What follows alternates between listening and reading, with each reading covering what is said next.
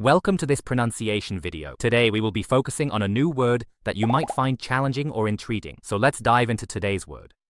Tanabe, which means, Tanami in Japanese. let's say it all together.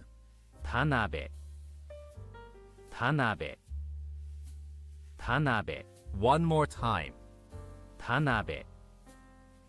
Tanabe. Tanabe.